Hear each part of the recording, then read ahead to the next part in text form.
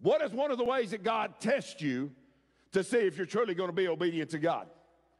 One of the ways that God tests you is He's going to send people that oppose you.